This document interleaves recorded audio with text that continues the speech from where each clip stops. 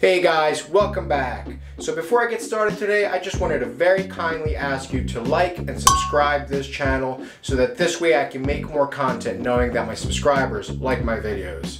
So again, please like and subscribe this channel. This way I can make more useful content. Now for today, we are going to be taking a look at our sea monkeys on Mars.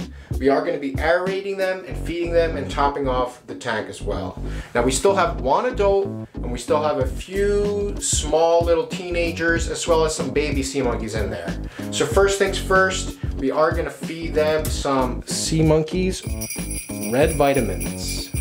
I've already fed this stuff before, but I do want to feed it once in a while. You can just substitute it for food. This is food as well.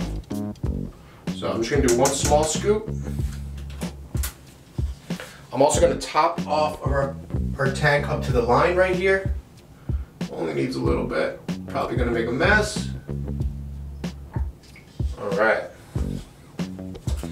And now let's aerate the tank.